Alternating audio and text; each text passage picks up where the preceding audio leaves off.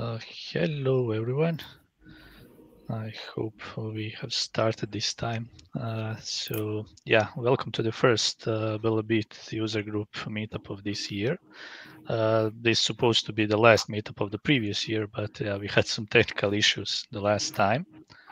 So yeah, welcome.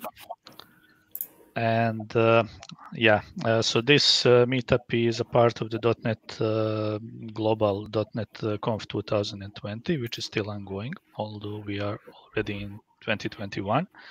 And today we have our friend Josip Klaric from Zagreb. Uh, he will be talking about WebAssembly standard, where we are at the moment, and what the future brings. So we would also like to thank our sponsors, JetBrains and .NET Foundation for managing this stream. And uh, yeah, also during this talk, uh, we expect that you have some questions. Uh, you can post them uh, on the YouTube chat, or you can post them to our meetup event page. So we'll collect uh, all of them, and the first two people with relevant questions uh, will be given a JetBrains subscription for uh, to use on, on one of their products.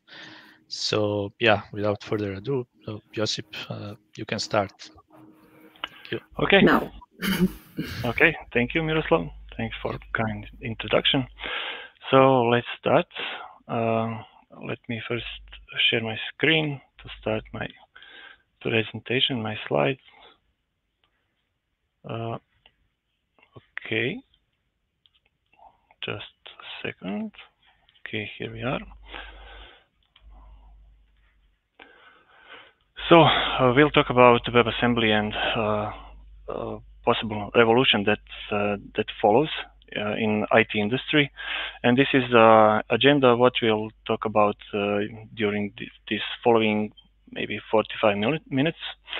And uh, of course, we'll start with uh, questions like uh, what is WebAssembly and why we need it. Uh, uh, we'll talk about current state of WebAssembly. Uh, then we'll have a short demo, demo with browser and some some small demo with in .NET.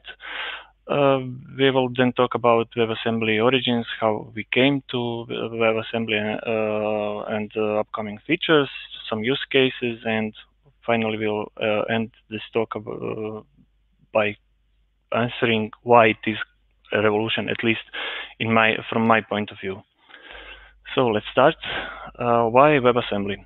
Uh, as we all know, uh, and we all use browsers uh, today, browsers are really, really powerful piece of software. they can run a lot of things that was not imaginable, I don't know, five or ten years ago, just just in browser. But today they are really powerful, and since we moved uh, our web page rendering from static server side to uh, the rendering pages in a web in web browser to client side, we can say that uh, actually browsers are powered by JavaScript engines, and even though they are so powerful, uh, we still have some emerging technologies that will uh, emerging technologies like uh, virtual reality, uh, machine learning, and so on, but also some heavyweight category of software uh, like video or uh,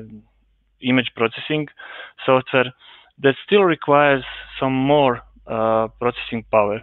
for example, simple action for of rotating 4K uh, image uh, in various browsers takes various times. As you can see here, uh, this, is, this, chart shows uh, measurement done by some of uh, Google uh, team, research team that found that in different browsers, uh, this action of simple rotation of 4K image takes from two to eight seconds. We can see the, this measure, measuring times in, uh, in this uh, blue vertical bar. Uh, the other bars are some other technologies that, that we are that are not so important right now, but we can see that JavaScript times uh, vary completely, uh, totally in uh, opposite to the to these other engines or languages, let's say. So we can see actually that uh, uh, processing in uh, JavaScript is not not predictable. That's the main problem, main issue. And what is WebAssembly?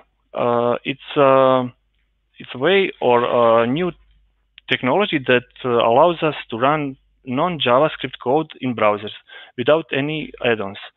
We had some uh, tries or, running some non-JavaScript code before, like Java Applet or, uh, or, Flash, and these all require some add-ons. But in this case, we don't give, we don't need any any add-ons to browsers. We uh, browser uh, browsers have native support for running this kind of uh, this technology. Uh, it's a compact, very compact binary format, optimized for download.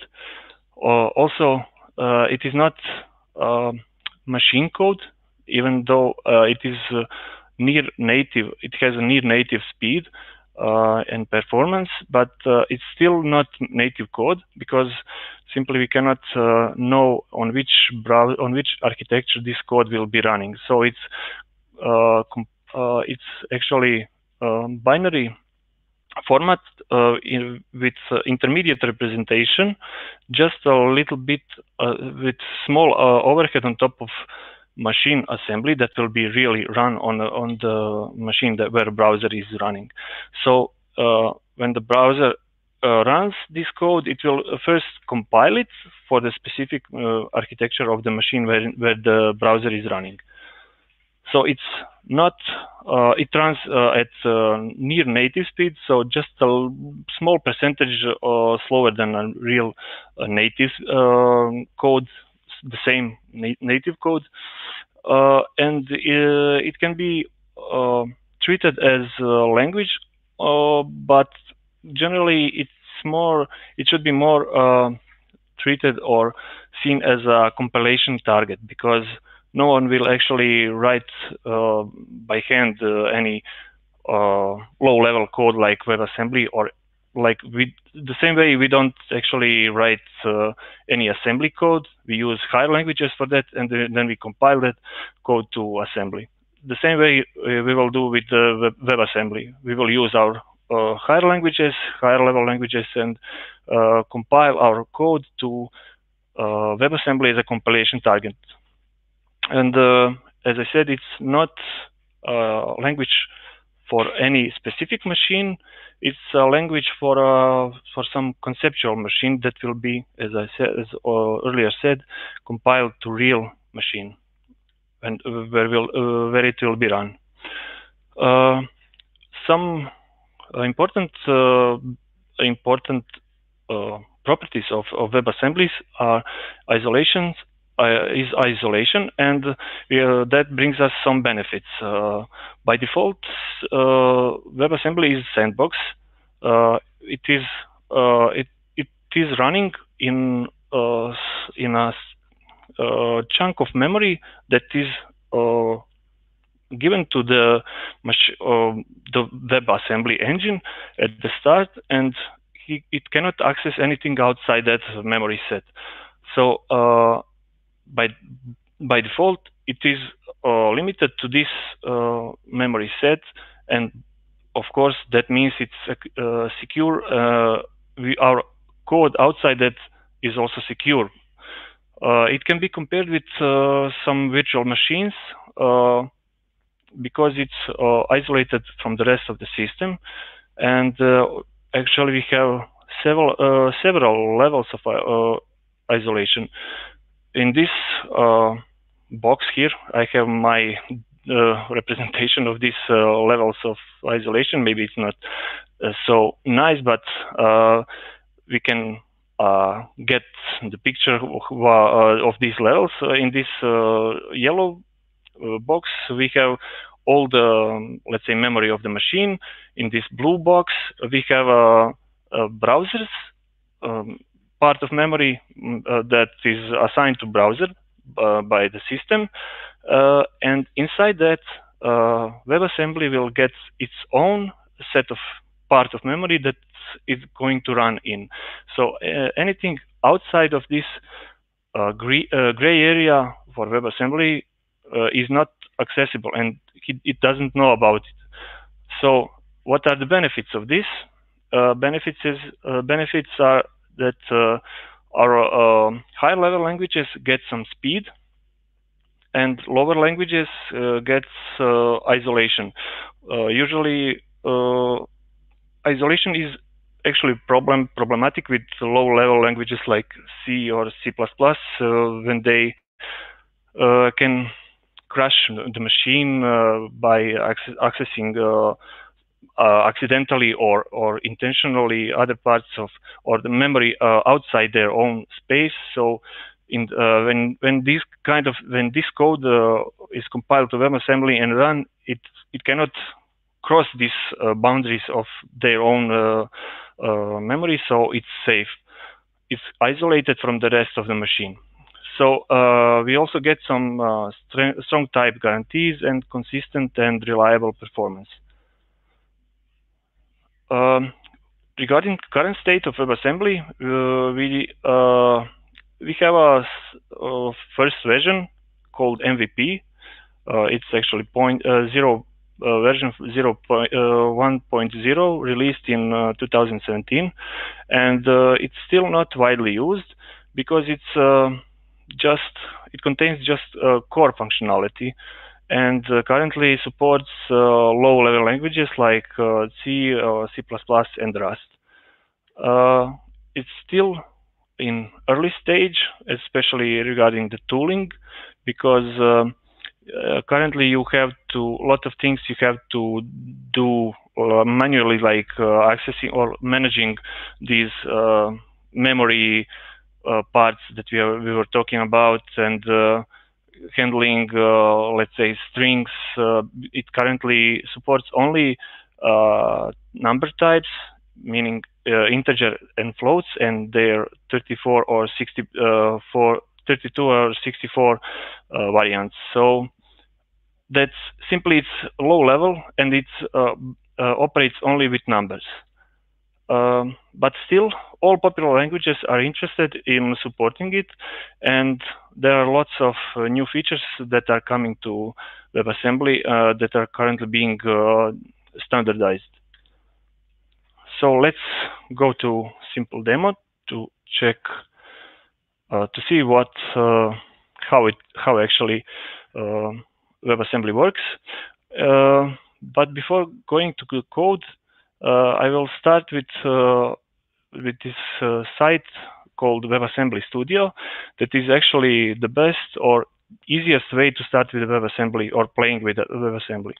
Uh, you, you get on this site, when you get to this site, you have you got some ID like uh, UI, uh, where you can uh, choose one of these template projects. I will choose, uh, select this empty C project and simply start push this create button and we will get some template with simple main method that returns this number integer. Uh, we have some uh, defined HTML that uses that actually doesn't contain anything except using this uh, JavaScript JavaScript file that is defined here and has some container here. This JavaScript here uh, defines some uh, interaction between JavaScript and uh, and WebAssembly. And when we run this, we will get some output here we get this 42 that is actually defined here as a return value from this method. Uh, our example is uh, based on this. You can simply download this uh project and I've done that and uh, made some adjustments to that uh, simply by adding some a few additional methods. this is the main that returns the same 42 number uh, I, I've added these two methods just to see how how can we work actually with, for example, with strings and how we uh, uh, call methods with parameters here. Uh, as you can see, we have here uh, the same uh, uh not the same, but very simple, uh, similar method like here. We only uh, take two arguments and return them as uh, add them together and return the result. In this case, we have this green, greet method. Maybe I should uh, make a code a little bigger. Yeah, okay. And uh, we can see here, uh, I'm simply returning from this greet method uh, string hello. Uh, in this case, Windows, Windows it's still my uh, from my older presentation. But anyway, uh, in this case, uh, I've added to this HTML, I've added a few more paragraph elements using the main JavaScript file that is defined here. And this file contains following script, uh, JavaScript code that actually uh, fetches our main WASM file. Usually when you compile WASM uh, uh, WebAssembly code, uh, you get the output is WASM file or, or binary file with uh, WASM.wasm ex uh, extension. We load that, then we create array buffer from that response. After that, we use these bytes from array and call instantiate method on WebAssembly uh, class. That will also then produce our, us uh, some object that we have uh, that we can access instance from that. And that on that instance we have exports. Exports are actually methods that we have defined here in in our main c file. Uh, so yeah main c. We have these main methods uh, add method and grid method. Uh, so how it works, as you can see, we simply here in these two cases, uh, main and add, we simply call that these methods and provide parameters for this method. And the result of this method is assigned then uh, to this uh, uh, DOM element as their content.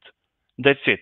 So since in this case we are uh, returning integers, we can uh, access this uh, return value directly and write it to this DOM element content. But uh, if we are calling, calling this method greet method that actually returns us uh, some complicated structure like string, as we said, uh, Web, WebAssembly usually not usually actually works with only with uh, numbers. Uh, we have some different way of handling string, strings. Uh, in this case, uh, we are calling. We have to first uh, prepare uh, this array that will again from exports we can access access it from memory. This memory buffer, and in this buffer we actually we will just we will in this uh, when we call this method grid we will get pointer to the position in the memory where the where this uh, uh, string result of this method starts in this buffer, in this memory buffer, and then we uh, loop through this uh, buffer, check uh, every character, every byte, if is that byte null null, uh, null character or not and if it's not we simply concatenate the message here. And that's that's the way how we actually get the message from or string from this uh, greet method as you can see we directly operate with uh, bytes uh, in the memory of the memory and it's simply so low with uh, when you work with uh, with strings and and WebAssembly. And uh, then finally we uh, assign this message that we uh, concatenated from the memory to this DOM element and display it. And now if I run it, we'll see the this result.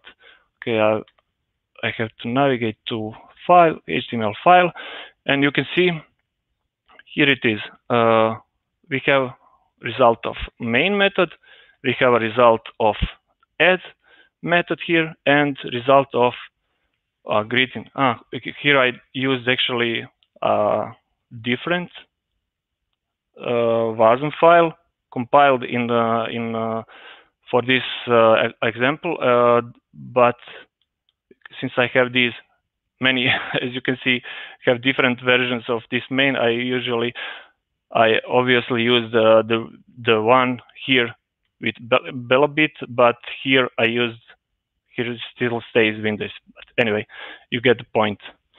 Uh, okay, and uh, let's go now to uh, another example of how to use the same WASM file uh, with .NET.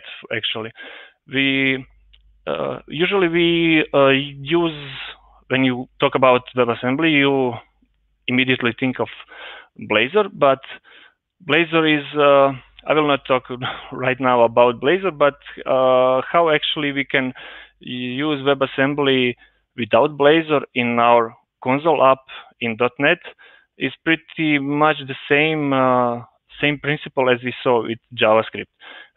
Uh, as you can see here, uh, we I'm I'm using I'm reading this file as a byte reading, reading all bytes from this file here, main WASM, is actually the same WASM file that I used uh, in uh, in this HTML example, and uh, use and load that into module. Uh, but that module, I have to uh, explain that is defined here in in this Wasmtime package, npm package. It's still in preview as you can see here. Uh, you can download that uh, uh, from NuGet and use it, but as I said, it's still in preview and it's still being developed, but it's developed by official organization called Byte Alliance now, who is actually caring about WebAssembly and WASI as standards. Okay, and now we create uh, hosts for this uh, uh, WebAssembly. Uh, as you can see, we are using dynamic in C Sharp here. We create uh, instance of the module uh, and then simply call from that instance, we call these methods main here again and add here and here in this uh, greet method, we call the, uh, we have a call here, we get the pointer here, uh, we access the memory here, and from that memory we have uh, we read the string from the uh, memory uh, using this pointer meaning that uh, this this method is actually implemented inside this NuGet package so we are using this method to uh, read all the strings or all the bytes uh, starting from this pointer to the until we reach uh, null term, terminator.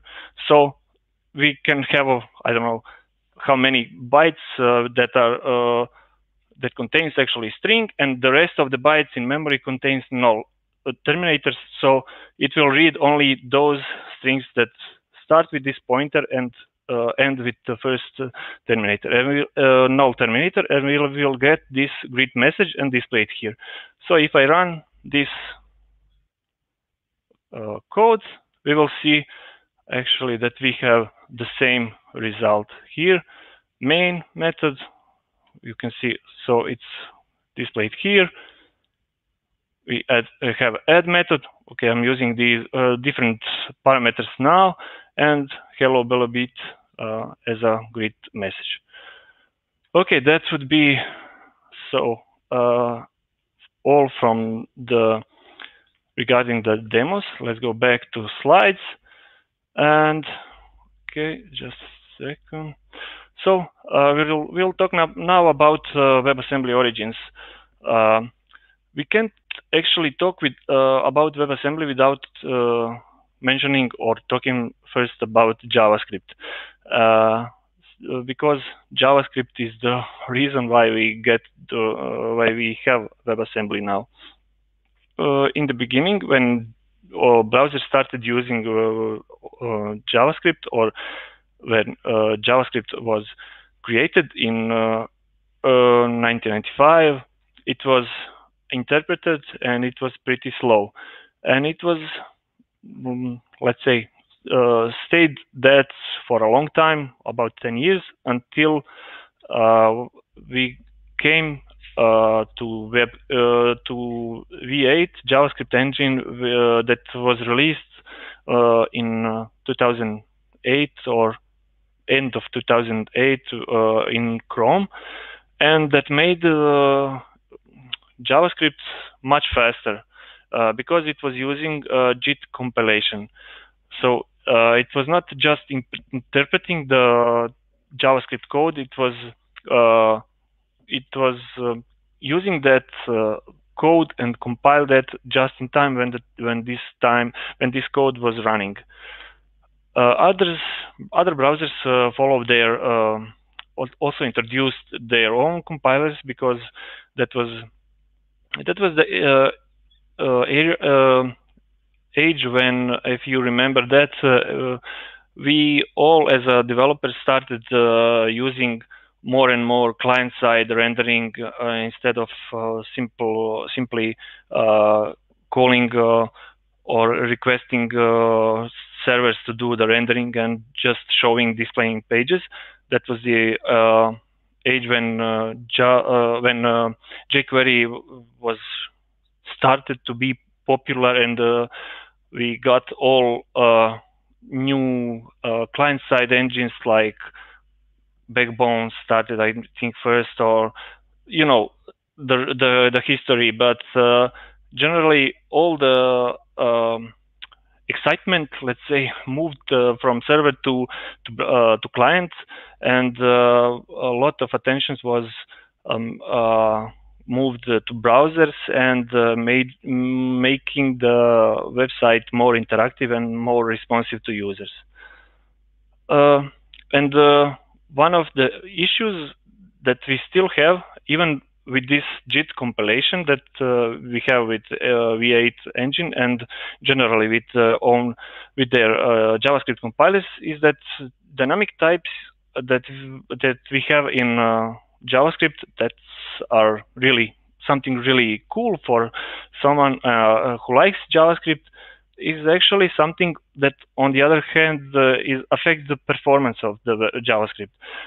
Uh, as we said uh, earlier, we cannot have the uh, the consistency and reliability in the code execution, uh, simply because in many cases any variable can be anything uh, just like in this simple uh, function we have on this on the inter, on the right, we have add that uh, method that accepts two parameters x and y, and we can pass x and the numbers and uh, to x and y and also we can uh, pass strings to x and y and we will get perfectly viable result from that function. But uh, when you think about it uh, uh, regarding in, in from the perspective of machine, it has to simply represent those numbers on, or those strings in memory. And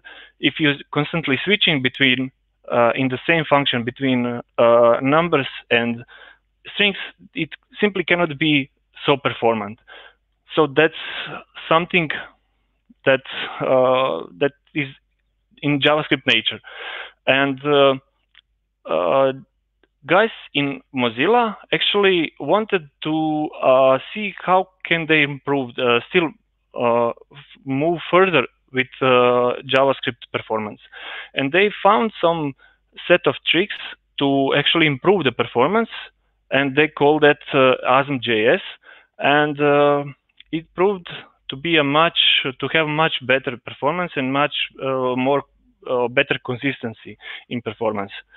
Uh, the same function we saw earlier, uh, written with this uh, ASM, looks like this, and you can see these logical or oring with or, or with these both both of these parameters x and y with zero uh, and also with uh, this result uh, of the addition, we also or with zero.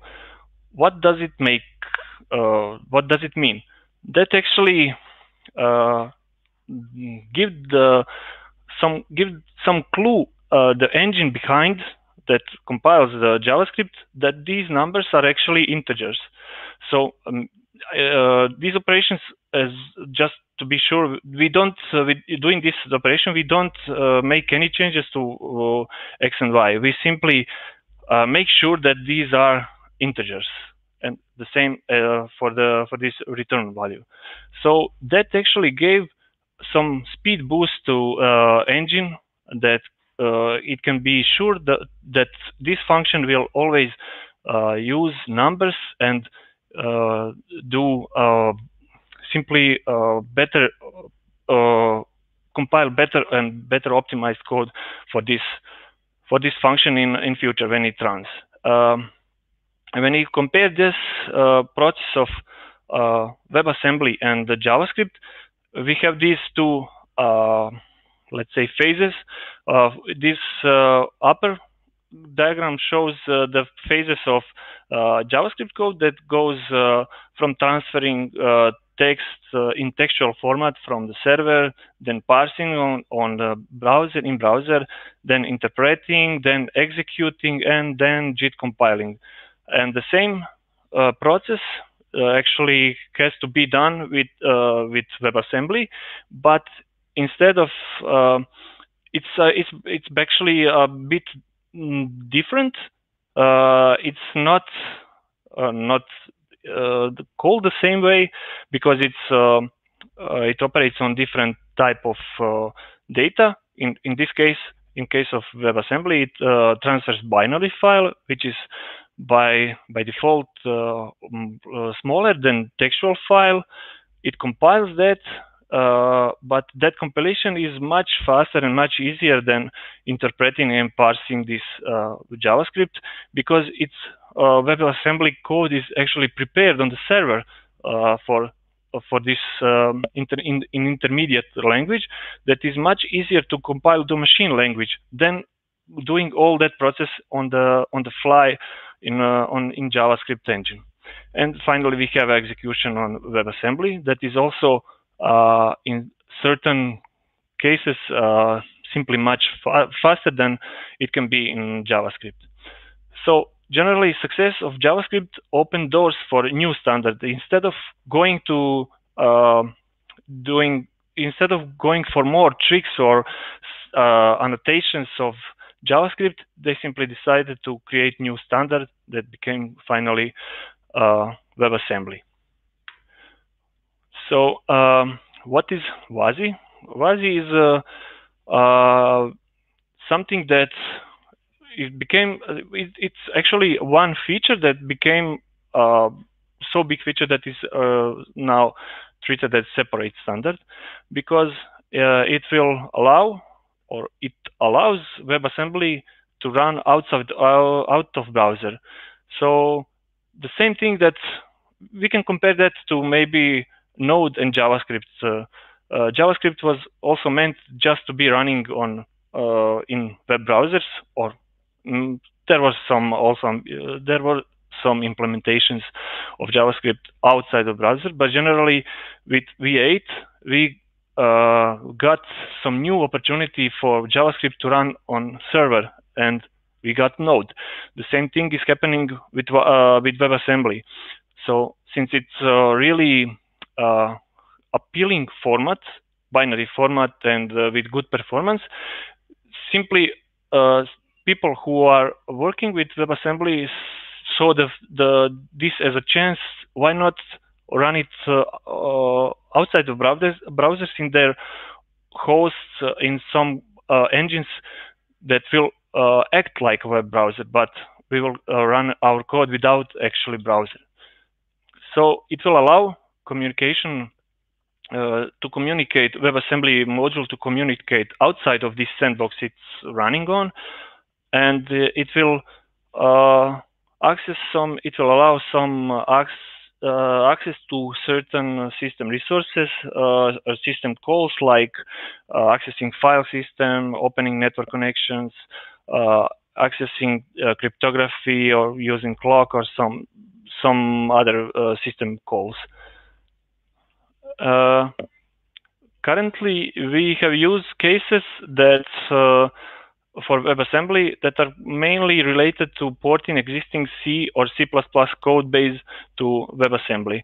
Uh, mainly these are uh, games, I know a few of them like Quake or Diablo.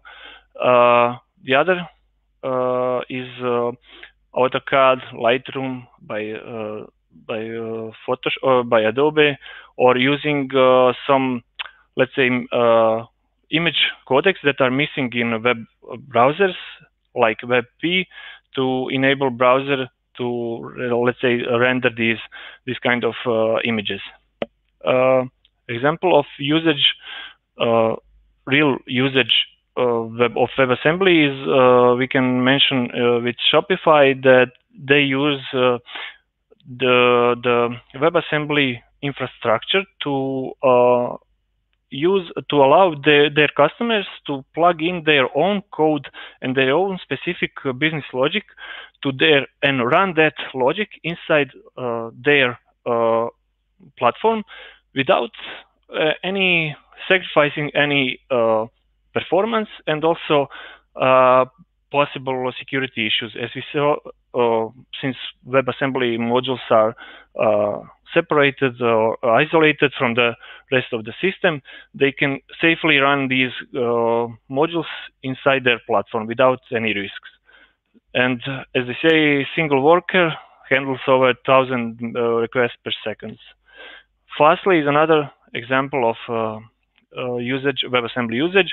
Uh, Fastly is, uh, is a company that started uh, as uh, edge computing company, or actually started as a CDN network of computers, and with WebAssembly they expanded their uh, business to edge computing since they noticed that they can use WebAssembly from the same reasons as shop as we mentioned for Shopify. Uh, to run some code, not just to host some static files, to also run some computation com, uh, computational code on their uh, network nodes uh, around the world, and uh, it's simply uh, because it's uh, affordable and easy for them to to compute to manage all these computation because it doesn't it's fast it's performant and this doesn't require let's say uh, some big uh, servers to to accommodate that uh, and they're especially uh, proud with their own Lucet engine that have a quick startup time under 60 microseconds compared to, let's say for with node process that needs about 5 to 10 milliseconds. This is microseconds, so 60 microseconds versus 5 or, or let's say 10 uh, milliseconds. So it's a big, it's actually huge uh, uh, difference.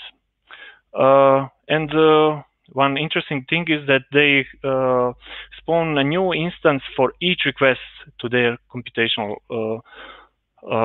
network. So you can see how how the web uh, WebAssembly are performant. So why it's a revolution? Uh, first of all, it's a revolution because it is a it is a cross-platform, real cross-platform format. It's uh, isolated, as we said, and today we simply are used to use uh, isolation in on various uh, uh, in various architectures like uh, we use Docker or, or some other ways of virtual machines to isolate things. And uh, it is especially uh, suitable for serverless scenarios where, they, where the WebAssembly offers solution for this uh, cold start issue, cold start problem when you uh, that we have with all uh, these cloud functions that if they are not used, they need some time to start and so on. But with uh, with WebAssembly, this problem is actually solved. Um, the other another uh, point why why this is at least I uh, consider it as a revolution is so-called developers united. I call it because we will we will mm, have a chance in a, a recent future to have single repository for all languages that we will share our uh, components and modules uh, between uh, all developers, let's say, in, in the world. If uh, if the goal of WebAssembly uh, will be achieved to all of us to uh, simply compile our code into WebAssembly as a compilation target. And we will then push that uh, code or packages or uh, uh WASM modules to certain uh, mm, repository like npm and be uh, able to use it anywhere on any platform. And with WASM, with WASI, we will also have granular security that will also uh, solve these issues that we have uh, that we can have with uh, using different npm or generally packages, code packages that we don't own and that may be insecure for uh, for usage, but uh, WASI have some solutions for that. And WASI by itself is also a huge uh, feature that will also uh, revolutionize the way we architect or, or our solutions in in future. Just to prove that, we can see the this uh, tweet by Solomon Hykes, who is actually creator of Docker, who said that if we had this uh, WASM and uh, WASI uh, uh, technology in 2008, we wouldn't have need to create Docker. So it's that huge. If Solomon Hykes thinks that, I think we can also we can trust him. So that would be it from me. Thank you, and I will stop sharing now and answer some of your questions if you have. Uh, okay. Uh, thank you, Josip. Uh, it seems that we don't have any questions so far. Mm -hmm. I'm still waiting. I asked a few minutes ago if there are some questions, but yeah, maybe we can ask you uh, some. So, what do you think about the future of JavaScript uh, after after WebAssembly? So will it uh, will WebAssembly affect JavaScript future or not? Um, I am pretty sure that it will, uh, but it will not be. It will be gradually, not like uh, from tomorrow we stop using uh, JavaScript, and of course it's not going to be like that. But uh, in my opinion, uh, WebAssembly is really is actually offering so much possibilities for all of us, all all developers, and uh, mm, I think in uh, recent future it will uh, be so feature rich that we will have no need actually for doing anything in uh, with JavaScript. If you're doing something with uh, WebAssembly, why not do it all? But uh, generally, it's creators of WebAssembly doesn't don't think of it that way. They they simply uh, see WebAssembly as a replacement for some certain specific uh, tasks where JavaScript may not be uh, so performant, like very compute uh, compute extensive uh, tasks like I don't know computing some com uh, algorithmic hashes or something like that, uh, cryptography, or or part of uh, uh, your site that have some complicated logic or complicated comp computation to do, without going for that to the server, you can implement that in a web, web assembly and call it from JavaScript and just use the result in uh, further in JavaScript. But as I said, in my opinion, when you simply when you uh, try WebAssembly and see what it can do, I think uh, people will simply stay in that uh, area and uh, generally JavaScript is also not meant to be used in on the server uh, when it was created, but now we are using it everywhere. So it's it's difficult to uh, predict that. But in my opinion, um, WebAssembly will prevail in uh, web development in let's say recent years, but not maybe in two years, but in five years, I think it will be much more, uh, uh, how to say, uh, visible uh, in in the web. Present, or better to say. Yeah, thanks. Okay, we have a few more questions. So here is uh, this one. So DOM for WASM, how long will it take? I think DOM. document object model, yeah. Ah, yeah. Uh, actually, it's uh, it's accept um it's mm, uh, accessible, or you can use DOM uh, from WebAssembly uh, right now. It's uh, as we saw. Maybe I didn't talk about that completely, but in general, WebAssembly offers you have this concept of importing imports and exports, and uh, you can usually you export the things you want to call from JavaScript to be callable from JavaScript, and you also can in, import things in in your WebAssembly, uh, yeah, your, your WebAssembly module, and these things uh, is actually uh, DOM access is one of the things you can import uh, to your uh, WebAssembly module and then uh, manipulate with DOM just almost the same way you do with JavaScript. Okay, thanks. So we have a few more questions. Uh, so this one is from Sakib. So what limitations does uh, WASM have besides it uh, needs to run in a virtual machine? limitation. Uh, there are some limitations like uh, uh, it's currently working on a 32-bit bit space, so you can't have file uh, handle file more than four gigabytes or something like that. It's uh, also in this first version, it doesn't support threads, but uh, as I said, I didn't actually skip that slide uh, of features that are coming to WebAssembly. There are a lot of proposals that will be uh, in next uh, that are currently being stand standardized and will be soon uh, uh, present or released in next version of WebAssembly specification.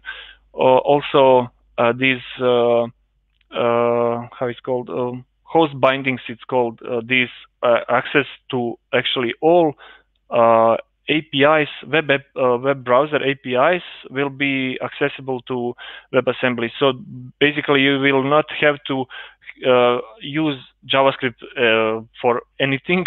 you you can access anything from directly from WebAssembly. There are also one important or or um, big uh, feature that is coming uh, is it's called SIMD. It's sing it's short for uh, single instruction multiple data. Simply means that you it's a thing related to uh, uh, processor architecture when you when the processor offers you some instructions that can uh, operate on set of bits the same operate do the same operation set of bits instead of doing one one by one. So it's uh, uh, in some cases, especially for I don't know uh, image processing, it has uh, big uh, impact uh, because you are actually doing in most of cases you are doing the same or very similar operation on multiple pixels that that can be done in a, in one pass or instead of doing one by one. Okay, thanks. So I think we have one more question from Andreas. Uh, so what's the performance difference between WASM and JavaScript approximately? Yeah, uh, rules. Yeah. Yeah. okay, uh, regarding performance, uh, uh, generally, uh, it it depends, but uh, if we want to be honest, uh, at at their peak performance, uh, JavaScript and WebAssembly will actually be optimized just as native code and be performant as native code. So there is no win in that in in in that situation. But that's an ideal situation, and it's usually not the case that you have that uh, optimized, completely optimized code. As I said, uh, it's very difficult to optimize uh, JavaScript code because it's simply too dyna dynamic and allows you everything. I mean, uh, uh, changing variables from time to type, and that that cannot simply cannot be optimized.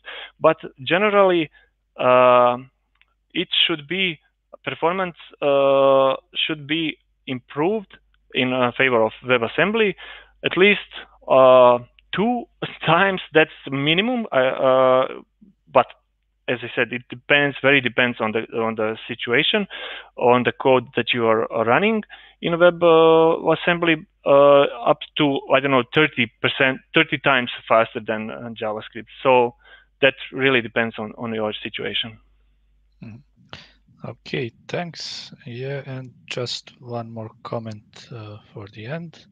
So Shivendra, if I pronounce that right, asks for the slides. So yes, of course, I will share. The, we will uh, agree, Miroslav, to. Uh, we can we can post the, them to Meetup uh, yeah. group event. I added the link, mm here. So yeah. Okay, no problem. Yeah. Okay, that is it. I guess there are no more questions. Uh, so for the first uh, two questions from uh, Rizwan and uh, who, uh, who had the second question? Uh, Shivendra, yeah. So could you please contact me either through our BLbit meetup uh, page or send me an email directly to miroslav.popovic at gmail.com and we can send you the, the licenses for or a one year subscription coupon for JetBrains products. So and yeah, that's it. Uh, Josip, do you have anything to add? No, no, from nothing from me. Mm, okay, so thank you very much for for the great presentation, and hope to see you thank soon you. live. No problem. Yeah. It was my pleasure. Yeah, thank you all. Bye. Thank you. Bye. Thank you. Bye.